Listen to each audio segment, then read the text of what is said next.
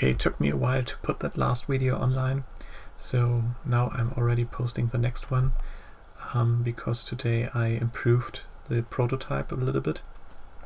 Um, I started with creating a new scene that's called Sensor and it's uh, basically an area 2D with a collision shape, uh, collision shape rectangle and for testing purposes I've got this polygon 2D um, that's just white and the same size as the collision shape. And then I created a script in the player.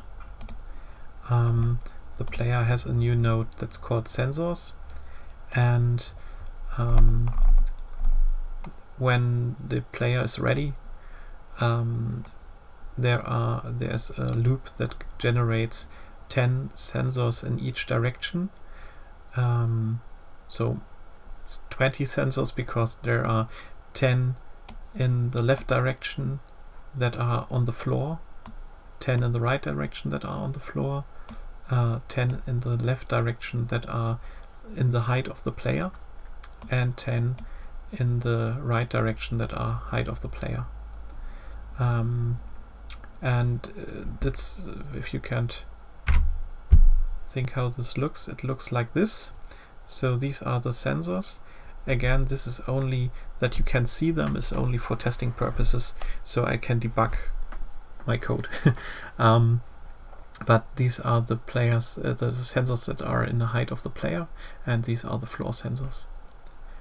And um, next thing is there's a sensor timer, and it's hitting very often and every 0.05 seconds and uh, when it's uh, executing then first thing is it checks the sensors. So um, again this is only for debugging and um, the regular thing is it checks if the player is on the floor because if the player isn't on the floor we are not interested in pits. If he's jumping we don't want to know about pits. Maybe that will change later but right now is it's a good thing. So if it, he's not on the floor, uh, the next pit is a thousand pixels away. We're not interested in it. Um, if he's on the floor, we are checking the sensor array um, of the floor sensors if for the next sensor that hasn't any collision. So if it doesn't have a collision, there is no ground at this position. And we want to have this um, information and we call it next pit. And we're doing the same thing for the wall, but we are checking the mid sensors and um, we are checking for the first that has a collision. And this is our next wall. So um, this is the function that does this.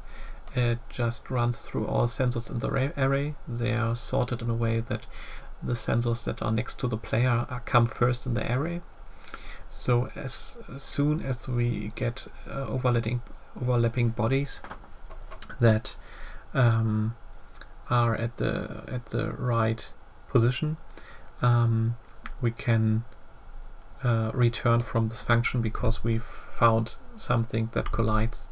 Or in the other way, if you, we are not looking for something that collides, we can exit here. And if we don't find anything, if the loop runs completely through and doesn't find anything, uh, we return again 1000 because 1000 was a safe way to say, oh, next pit or next wall is so far away we don't, we're not interested in it. Um, so again, for testing purposes, I color these sensors. I um, change the modulate so that uh, the polygon on it will uh, have this color so if it hits something, we color it red, and we if it doesn't hit something, we color it green. And um, at the beginning, I um, hide all sensors so that we don't see sensors that we haven't checked. So how does it the see look like in uh, in the game? Again, here are the sensors now you can see them, but later in the game you won't. Um, and if I come next to a wall, you hear a sound on the right ear. So maybe you want to see this video with headphones. Um, and you see at these rectangles that this one is hitting, so the next one isn't checked anymore. So if I go further to the right, the ba sound comes out more often. So that's just a testing sound I um, created with the microphone. Um, and this sensor collides, so all sensors to the right of it and all sensors after this um, aren't checked anymore. So that's the way. If I'm not on the, I'm off, on the other side of the wall, I hear the bass sound from the other ear. And the frequency gets up the further I go and the nearer I come to uh, the wall. And now we come to the sensors on the ground. The dip is from the pits and maybe I should have used the sound pit, pit, pit, now it's dip, dip, dip. um, and uh, so he checks all the sensors until he finds a sensor that doesn't hit anything, that doesn't collide, and this is our distance.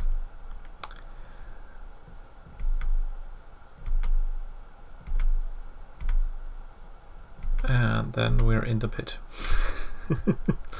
Um, so how do I do this with the sounds?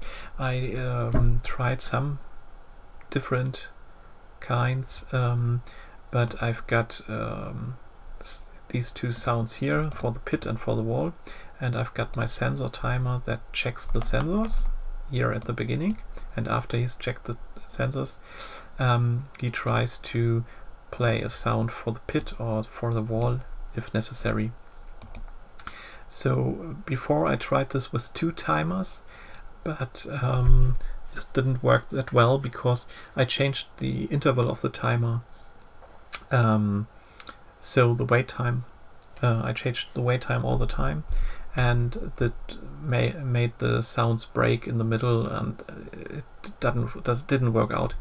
So I've got now a fixed timer that runs on uh, every 0.05 seconds, and um, then I've got these two variables, pit interval and uh, wall interval, and um, I count them up every time the timer hits and I compare them to to a time um, that um, that tells me how often I want to be called.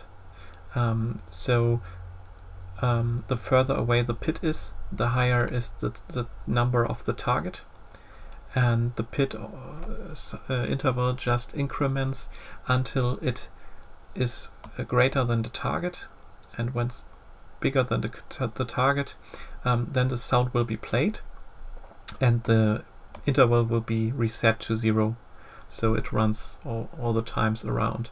And with this uh, formula um, if a pit is very near so this would be next pit would be 10 divided by 10 is 1, plus 4 is 5. So um, every 5 chords of this uh, function um, the sound is played, which would be uh, 0.25 seconds. Every 0.25 seconds um, the sound is played. And the bigger this next uh, pit variable gets, um, the more often the function must execute until the sound is played. So the distance between the dip or the ba sounds gets bigger.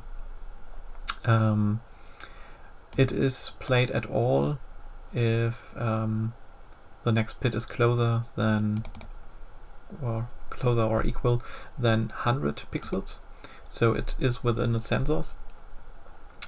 Um, and um, it's yeah, played as soon as the target is reached. And to um, check if it must be played on the right or on the left ear, um, I check if next pit is bigger than zero. Uh, for these checks I, I take the, the absolute of it, so it doesn't matter if it's a minus or a plus uh, value. but here I check if it's positive and if it's po positive uh, it's on the right ear and if it's negative it's on the left ear.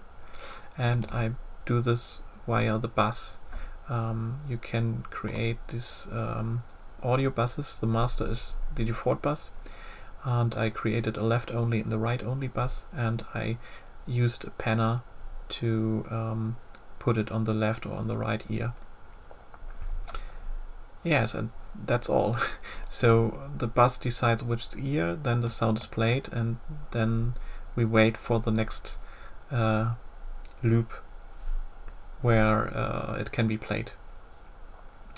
Um, I put the current prototype on itch.io, so I will link it in the video.